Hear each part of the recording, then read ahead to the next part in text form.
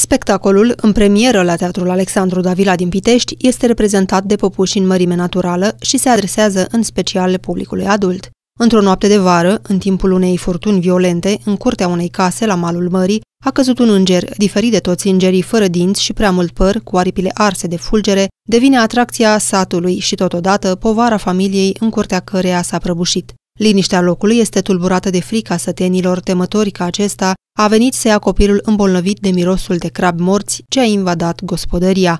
Spectacolul se concentrează pe încercările îngerului de a se întoarce înapoi în văzduh și descrie în amănunt relația pe care acesta o leagă cu băiețelul familiei.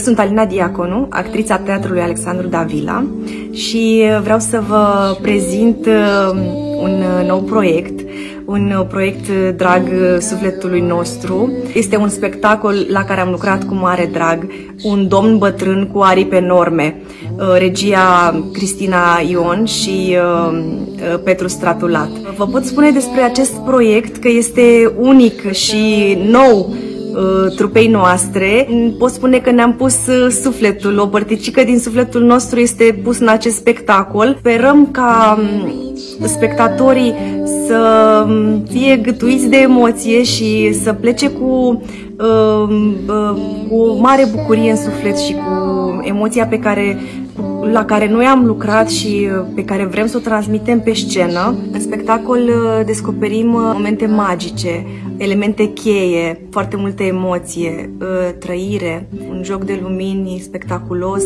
și multă emoție. Vă așteptăm la teatru, acum că avem porțile deschise, uh, sper să reveniți în număr cât mai mare uh, și cei mici și cei mari la toate spectacolele. Spectacolul va avea loc în zilele de 30 și 31 ianuarie, începând cu ora 19.